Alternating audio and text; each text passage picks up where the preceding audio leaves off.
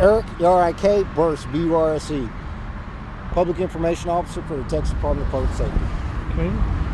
And tell me what you got. We have a two-vehicle crash, uh, which resulted in two fatalities. Uh, we have a sewer worker who was working on the sewer lines and was struck by another vehicle. Okay.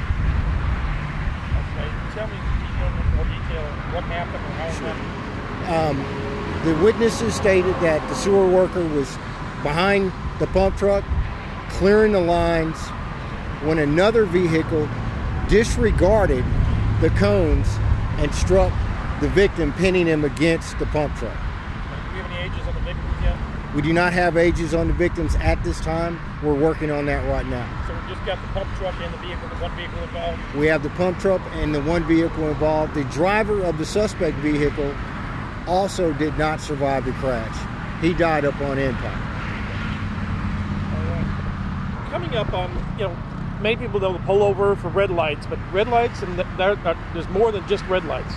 There is more than just red lights. There's construction workers, there are emergency management people that are out on the roadways, and we preach that when you see these lights, when you see these traffic cones, when you see these signs, decrease your speed, pay attention to your surroundings, change lanes safely when you can, and keep your speed decreased until you've passed the construction zone or the workers out performing their duties every day.